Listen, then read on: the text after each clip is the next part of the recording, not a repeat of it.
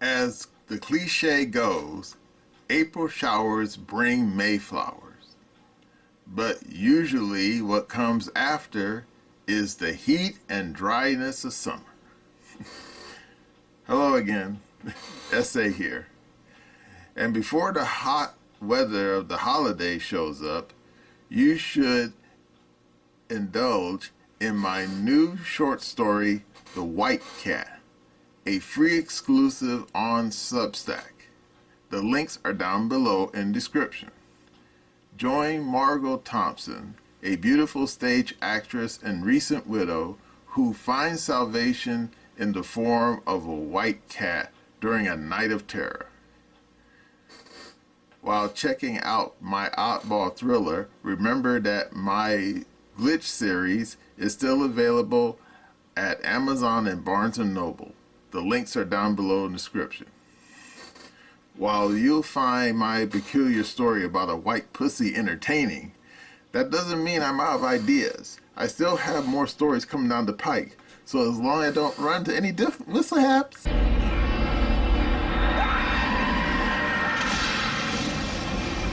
You'll see those stories as well. Now let's get back to the video.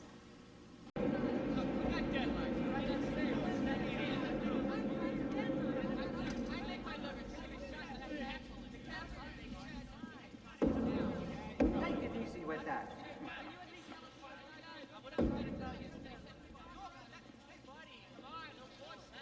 Uh, where are you planning on putting a window? Window? There's no window. No window. What? What about the hatch? The hatch. Yeah, the hatch. We need a hatch with explosive bolts that we can open ourselves. I think there is something you do not understand. This is the final form of the capsule. No hatch. What would happen if the automatic controls went out? Backups, checks, etc. This would not happen. I said, what would happen if it did? Pilot would have to fly it back. This is the way it is. You know, I wonder how the press is going to feel about this. What does the press have to say about this? Yeah, what do they have to say about it? Well, do you boys know what makes this bird go up? Funding makes this bird go up. That's right. No bucks. No Buck Rogers. And uh, Hello again. SA here. Back at the genesis of um, broadcasting, radio, and television, anyone who's knows that one thing you probably couldn't avoid was commercials. In other words, indeed, when I was a little kid, you used to watch the old Lassie show. Yeah, that long ago. And one thing you couldn't avoid was the fact that uh, right in the middle of the show they would say, uh, "Now a word from our sponsor, brought to you by Campbell Soup." And indeed, they made sure you didn't forget that Lassie was uh, sponsored by Campbell Soup because in the end credits they showed that damn uh, picture of a Campbell Soup can in the bottom of the corner in, in the end credits. I always thought that was hilarious and they weren't the only one. Indeed, other companies like uh, GE, they would sponsor programs like the GE Theater and Texaco, same thing. But then by the 1970s, when I was a kid, uh, advertisers got a little bit more subtle. Oh, the commercials were still there, but they weren't so blatant as they were back when, uh, before I was born no, in the 1950s. And indeed, anyone who listened to old uh, radio broadcasts from the 1930s, uh, the sponsors were unavoidable. They let you know right away uh, that, for example, uh, Orson Welles, yeah, that guy, his old Mercury Theater uh, was uh, sponsored by I forgot who now. I remember hearing uh, hearing the name but yeah, they would tell you at the beginning and at the middle and at the end. That way you you knew for certain who was sponsoring that radio program. But the funny thing is, uh, sponsors are important. Indeed, Uh, Gus Grissom long ago once said, talking about uh, a different subject, but it applies to uh, broadcasting, is that what makes a rocket fly through space? Funding. No bucks, no Buck Rogers. Well, guess what? When it comes to radio in the past and even television, no free television now, same thing. No advertisement dollars, no Buck Rogers in the 25th Century TV show. Okay, are we clear? And indeed, uh, uh, people in the present day who have cable, well, guess what? You still have to deal with commercials. Because anyone who's ever been to some uh, no-tell motel knows that they usually have what is called basic cable. And they will usually have channels like A&E or Bravo. And one thing you couldn't ignore was the fact that even though A&E and Bravo was on basic cable, those channels still had commercials uh, between the programs. Now, of course, if you ask for premium channels, you know, like HBO, Cinemax, Showtime, the movie channel, and whatnot, well, guess what? No commercials. But of course, nowadays, most people uh, usually uh, watch stuff over the computer. Hey, I get it. It's the future. And when I mean on the computer, I mean on their little phones. And personally, I'll tell you straight up right now, I'm not watching uh, some Tom Cruise extravaganza on some little uh, two by four inch screen, okay? I mean, wait, think I'm wearing glasses now. Yeah. I'd rather watch it on a nice big uh, flat screen if you don't mind too much. But hey, some people like watching their movies on that little t- uh, that little uh, smartphone. And yet, unless you have uh, Netflix or uh, Amazon Prime, guess what? You'll be dealing with commercials. I mean, look at YouTube for example. Yeah, every time someone turns on a cat video, you gotta watch some damn uh, commercial. Unless, of course, you have uh, uh, an ad blocker. In that case, uh, you don't have to worry about the commercials. Uh, but anyway, uh, this video is not so much about commercial television or even cable. It's about uh, a certain organization, an organization that's been using its, uh, throwing its weight around when it comes to uh, social media. And let's just say this, their shenanigans may have finally caught up with them. Now, that big boy, Jeremy from the Quartering, now he's got the nuts and bolts on this deal because personally, I never heard this organization. And I'm pretty sure most of you haven't heard about it either. But don't worry, old uh, Jeremy, he's to clue you in on what, what the deal is. Okay? Are you ready? Here we go. Absolute epic victory. See, there are some good things that can happen out there from these Capitol Hill meetings outside of Fox News sound bites. Many of you have been following the story of the world's most influential advertising cartel on the planet versus Elon Musk and Rumble versus X and Rumble. Now, how we got here was during some Capitol Hill hearings, it was revealed that an agency called GARM, which is an arm of the WEF, controlled somewhere around 90 cents of every dollar on the internet. Essentially, if you were a big advertiser, you were like, hey, GARM, uh, where should we advertise? And GARM was telling people you should not advertise your products to conservatives. In particular, you should not advertise your products on Rumble. You should not advertise your products on X. Um, you should not advertise your products on Steven Crowder's channel or the Daily Wire or any any platforms that allow these people to exist. We knew this as a absolute fact due to several emails that were submitted in evidence.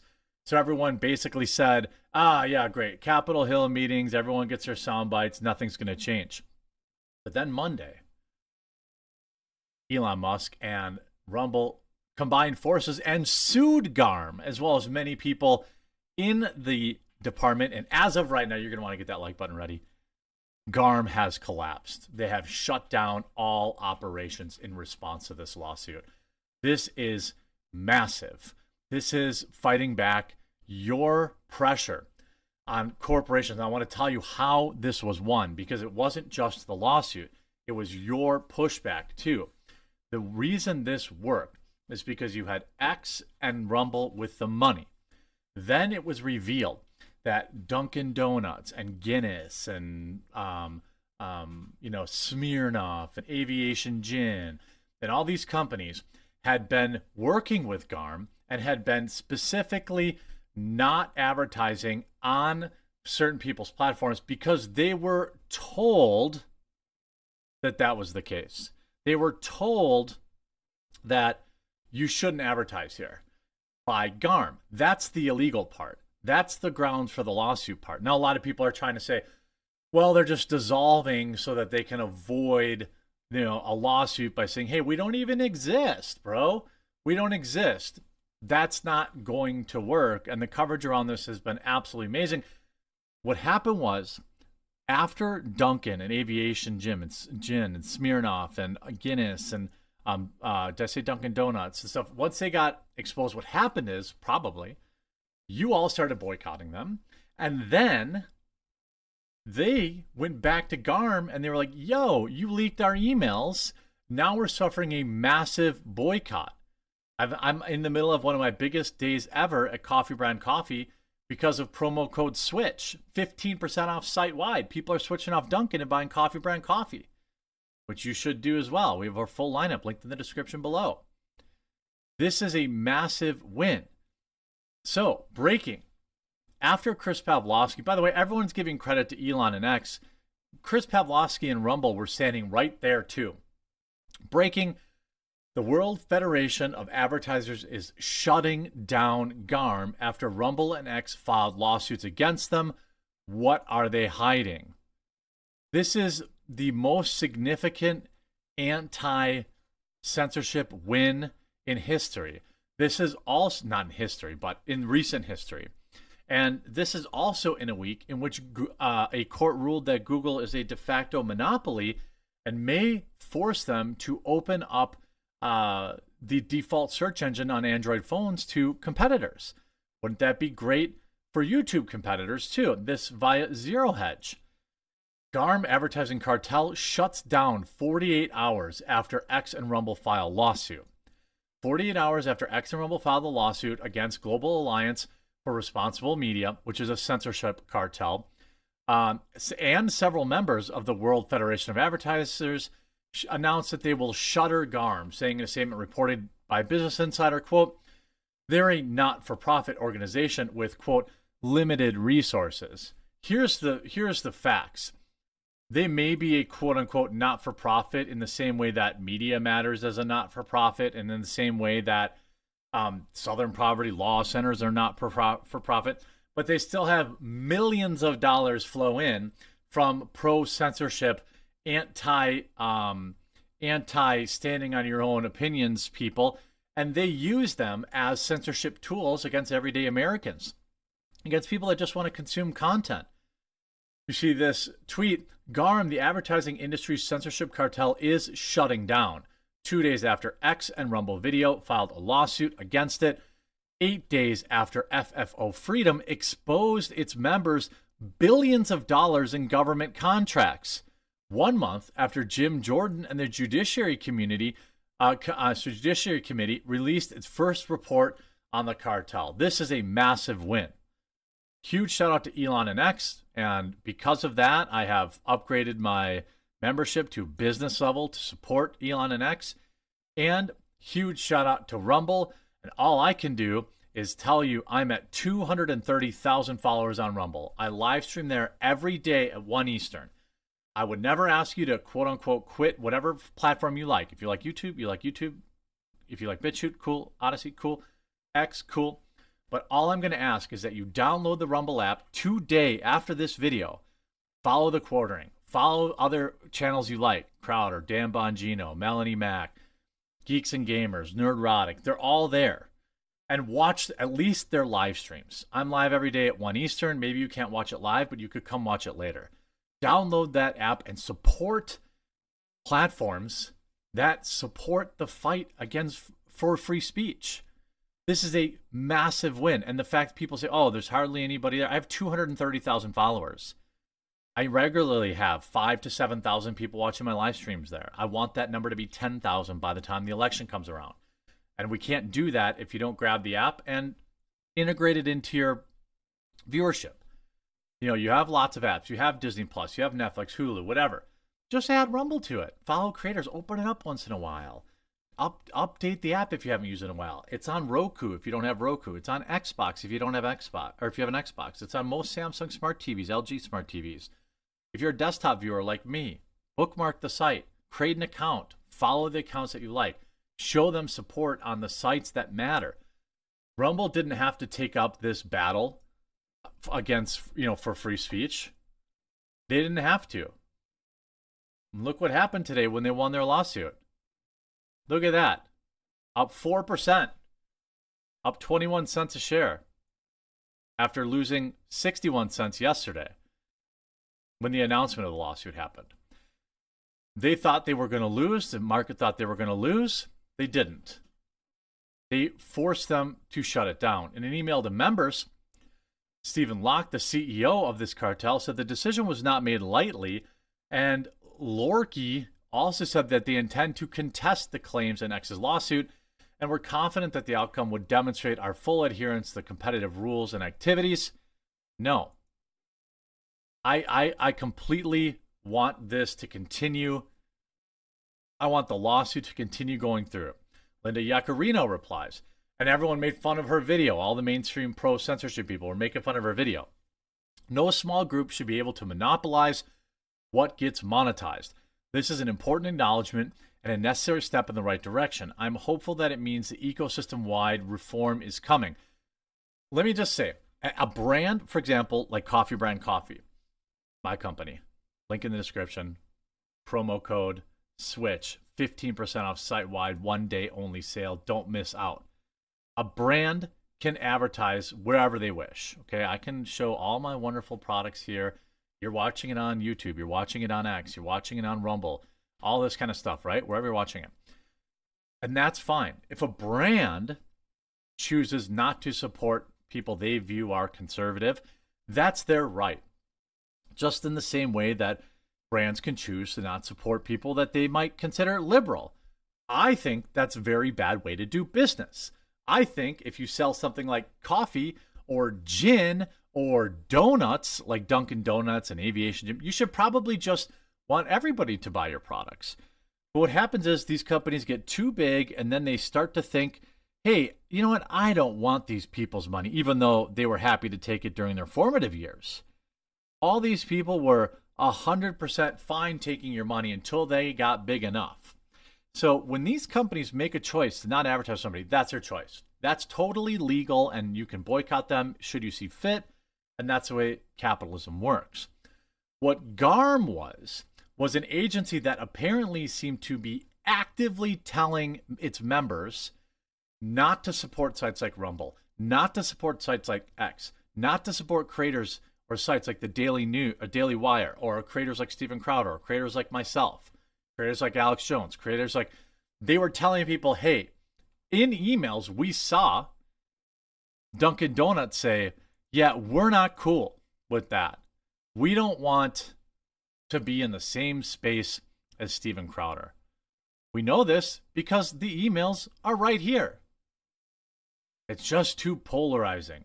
Even though you could advertise with Rumble and just not be on Alex's show, or you could not be on other people's show that you don't like, you know, they're, they're fine. But here is you know, the emails where they're basically saying, again, in this email, there's no scenario where we approve a platform like Steven Crowder or, or Alex Jones. From Diageo NA, which tweets are now protected. Bailey's, Crown Royal, Captain Morgan, Smirnoff, Tanqueray, Guinness. All of these people hate conservatives, just so you know. They, they will not spend money on a platform that dares to host Steven Crowder. Okay. So I'm sure if, you know, look, I'm a vodka guy. Who's a vodka guy on here? Smirnoff, Ciroc, Ketel One. I like Ketel One. I'll live. Tito's isn't on this list. Tito's is cheap and affordable, and it's high quality. If you drink, you know, Bailey's, find an alternative. They don't want to spend money to find you as a customer, so you should not be giving them your money. This is an epic win, massive win. Huge thank you to Chris Pavlovski and Rumble for standing behind free speech, as well as Elon Musk. Again, if you made it this far in the video, all I ask, down I'm sure you already have X. Download the Rumble app, find your favorite creators, tune into their live streams, interact with them, because the bigger Rumble gets, the more power they have to keep speech free. Okay, you saw that, right? Now, of course, me personally, uh, if you asked me a year or even a month ago about GARM, you know, the Global Alliance for Responsible Media, and you, I would ask you, hey, what's that? I mean, I never heard them before. And I think most of you never heard of them either. I didn't know what the heck they were or, or what they hear or, or, anything. Nothing. Zip. Zero. But as uh, that big boy Jim from the quartering said, we only found out about it almost by happenstance. You know, because in his video he said that uh, Jim Jordan, and of course I know some of you say, oh, some damn Republican Congress. Hey, so he's a Republican. The guy's not a bad guy, okay? But he was in the Judiciary Committee and he was uh, grilling some advertisers, and they just happened to mention that uh, they were basically following the, these uh, you know dictates out of this GARM outfit on where to put their advertisement dollars on social media. And wait for it, you ready? Apparently, GARM is was, according to the computer, originally formulated by some outfit that came out of Belgium uh, called the World Federation of Advertisers. And this was like way back in the 20th century, I think back in the 50s. But then something happened after the year 2000. Apparently, these people got infested with the woke mind virus. And then they decided back in 2019 to uh, create this organization uh, called the Global Alliance for Responsible Media. And officially, officially, it was supposed to be a global cross industry alliance which supposedly was to improve digital safety. And believe me, I have no idea what that's supposed to mean in English. And to eliminate harmful content online. And I'm thinking, well, if you're talking about, you know, those, you know, really naughty videos, you know, like, you know, little kid, you know, like, little kids being molested or know really awful stuff like snuff films which i think are already illegal. I mean uh, they're a little late on the on a little late to the party okay? Because you know snuff films and you know videos of little kids on the, on the computer being uh, molested or that stuff's already illegal okay? But apparently, this Garm outfit wasn't really focused on that kind of stuff. And then you say, what the hell were they focusing on? Joe Rogan. And you say, what? And Steven Crowder. And you say, what? And then, uh, ready? The big one, Tucker Carlson. And you say, oh, these people are full of beans. Yeah, they are because anyone who's watched a Joe Rogan show knows Joe Rogan it can be pretty entertaining. And even though most people don't like Tucker Carlson, hey, I get it. The guy he rubs people the wrong way. It doesn't make him wrong. But these damn garb people, they basically said, no, sitting there wagging their finger people saying, oh, having these people on the internet is naughty.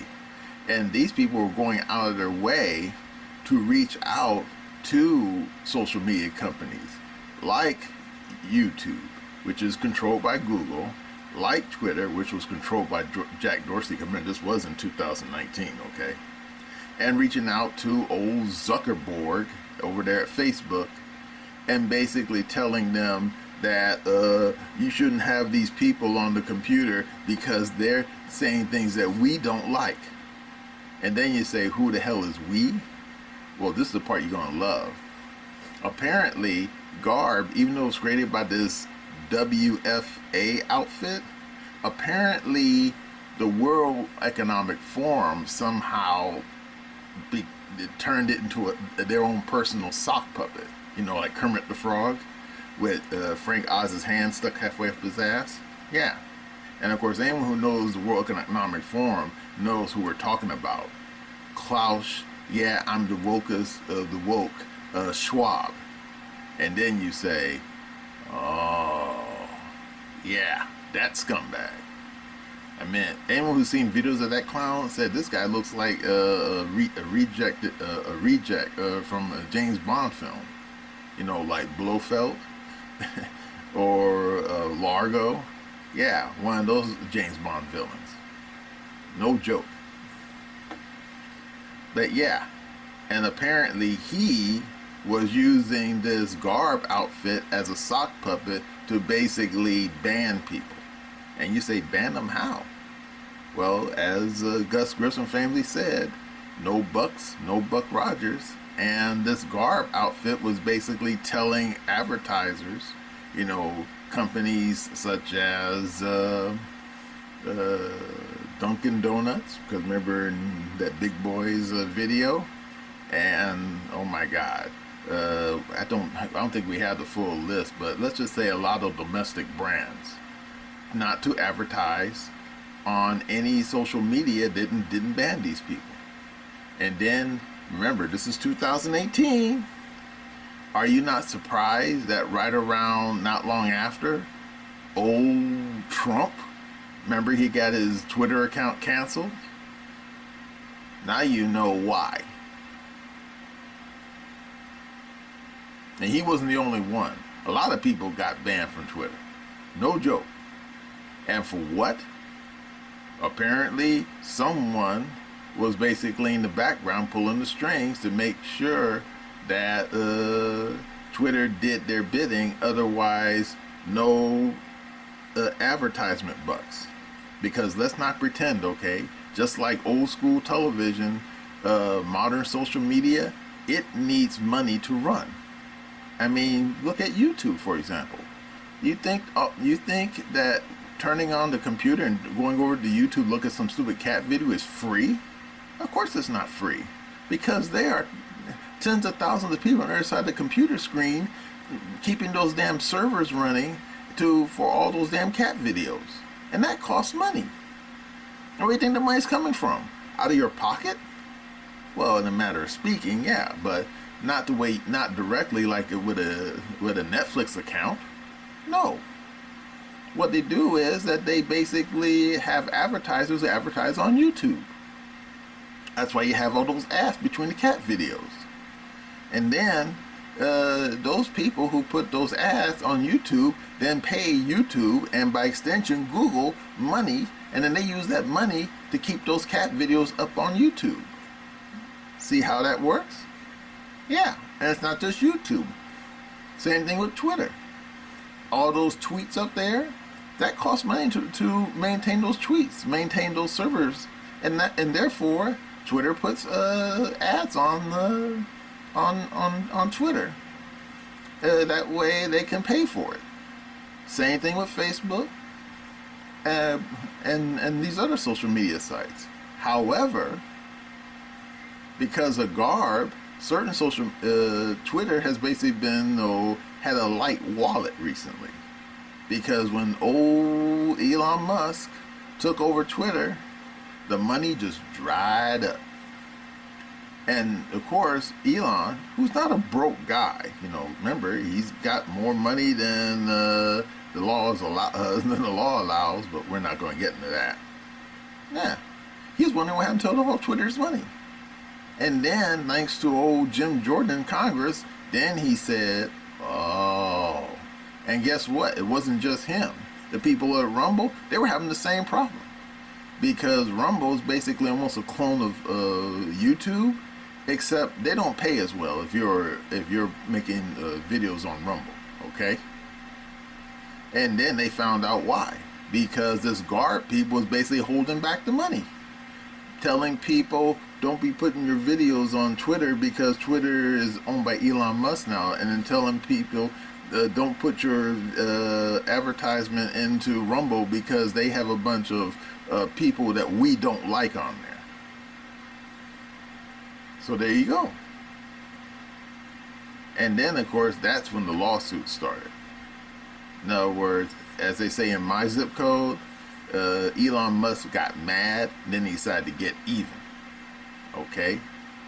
And of course, as you saw in that Big Boys video, now it looks like GARM is uh, going out of business. And you know what? This is not a bad thing. Because now that means that old uh, Elon uh, will able to start getting the same kind of money that old Jack Dorsey did. And wait for it, the people over at Rumble, now they'll be able to uh, uh, get more money now to pay for their uh, damn uh, video creators, and that's a good thing. Because way back in the 20th century and, and during the time of broadcast radio and television, that's usually how it works. Because if uh, a program is popular, then guess what? It gets more advertisement dollars. I mean, look at the Super Bowl, for example. Because back when I was still a wee little kid, the Super Bowl was a brand new thing. And people at the time said, yeah, we like football. What's this Super Bowl thing? And then, no joke. And not uh, 10, 10 years, not even 10, not even 10 years later, the Super Bowl became a very big deal. And indeed, every time they had a Super Bowl game, there was like 50, 75, and sometimes almost 100 million people tuning in to watch. And of course, at the time, people uh, in the advertisement business said, yeah, we like those numbers. And therefore, when they show up uh, to the NFL and say, yeah, we want to put an ad on a Super Bowl game, the NFL said, okay, how much you want to give us? And indeed, uh, you talk to anyone in the in broadcasting, they'll tell you putting a TV ad on a Super Bowl game is one of the most expensive things you can imagine. We're talking like easily, I think back then in the past, I think it was like over $10 million to put a, like a 30 second ad. And now I think it's up to like 20 million. So yeah, not cheap. And yet, we have all those eyeballs watching the game and then they switch to a commercial, everybody sees your ad. And that's what, what advertisement is about. If you're a business and you want people to know about your product, you advertise. If you put your advertisements on TV, guess what? A lot of people see your, your commercial. And if the program you happen to be putting your commercials on is a very popular program, guess what? You get more eyeballs to see your commercial and you likely get more customers to buy your product. That's that's just how advertisement works. And therefore, when you look at was going on with GARM, they basically threw that that, that paradigm out the window. They didn't care about eyeballs. All they care about was uh, uh, about uh, political messaging, or as uh, that big boy Jim from Corn would say, the message. And therefore, they didn't give a, a, a toss if uh, some YouTuber or someone on Rumble or someone on Twitter had like uh, a million, 10 million uh, followers. If they were saying things that GARM didn't like, guess what? No commercials, no advertisement dollars. And anyone who knows advertisement knows that's just wrong. Because if you are selling Tiddlywinks and you want to put ads on YouTube or Twitter uh, and then and then you say and you see someone has a lot of Twitter followers or someone has a bunch of YouTube followers, you say, yeah, I want my commercial on that guy's uh, YouTube channel because that'd be more eyeballs for my product, and who knows, I might get some uh, cust- uh, extra customers. That's just logic. But you're not dealing with people uh, at these GARM who was acting logical. They were just acting dumb. And according to that Big Boys video, it looks like they just hit the they just bit the dust. And hopefully they won't come back in the sequel. Just saying. Well, that's all I got to say about uh, this Global Alliance for Responsible Media and the World Economic Forum basically pulling a fast one when it came to social media. And that's my opinion.